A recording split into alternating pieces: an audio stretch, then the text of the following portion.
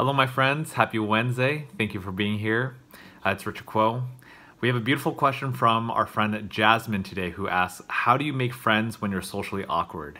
So, first of all, I would say, I'd venture to say that majority people growing up have to deal with and go through some sort of social awkwardness and understanding how to uh, make friends, how to uh, be more social and fit in socially. That's a very normal part of being a human being.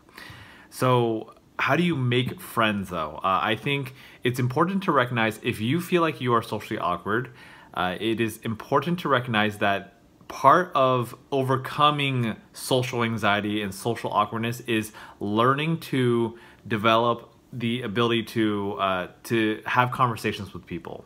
It's not always easy, myself included. I remember when I grew up, I used to be very very shy. Uh, I remember when I would one time in elementary school, I was taking a test, and I was so shy to the point where uh, I, I I messed up on my answer and I needed an eraser and I wanted to borrow an eraser from my neighbor. But you know, it's test taking. I, I was nervous. I didn't want to seem like I was cheating, but I just wanted an eraser to erase my answer.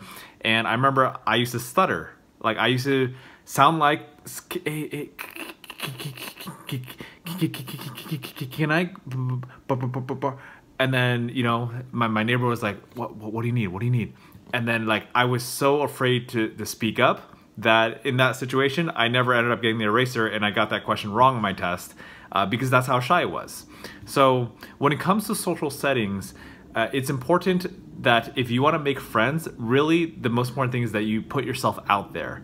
I know that could be scary, and uh, I would say one of the most important things to remember is that we are all just human beings. Other people are human beings, and uh, especially if you're younger, uh, this applies to adults, but especially teenagers and uh, people, uh, younger folks, because uh, a lot of times there's a lot of social pressures, social judgments that people make, and it's important to remember to just be yourself. So, uh, for example, if I were younger and uh, I was struggling with a lot of social anxiety, which I used to, uh, social awkwardness, I think it's important to uh, do your best to you know connect with those who may share the same kind of perspective and things like that. Uh, it's important to find people who will accept you for who you are, and then you accept them for who they are.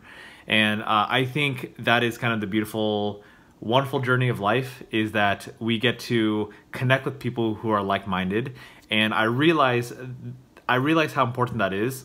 I think in my life, I spent a lot of time trying to fit in with, uh, you know, popular cool kids. And um, in some ways, I was able to do that in some years of my life. But then I, I realized as I got older and uh, like when, once I got into high school, I didn't really want to hang out with those people or those weren't my people.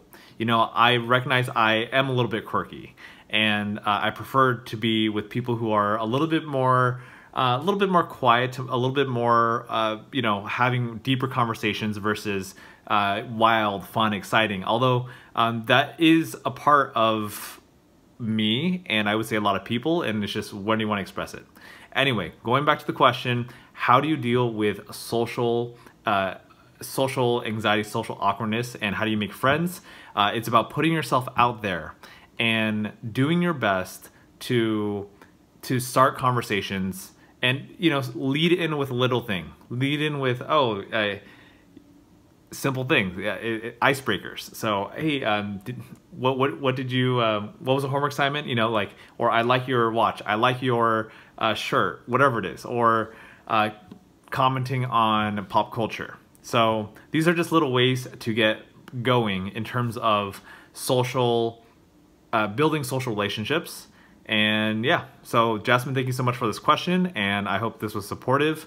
And uh, really, I'm just excited to uh, continue creating videos and create continue creating conversations with all of you.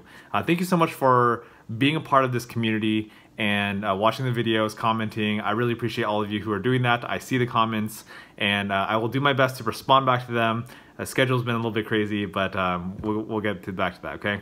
Uh, thank you so much, and as usual. If you want your question answered, feel free to drop it down in the comment section below. Uh, I'll take a look at it and add them to our list of questions of uh, people who want to get them answered. Um, that's all for now, and I, I will see you soon. All right, take care. Bye.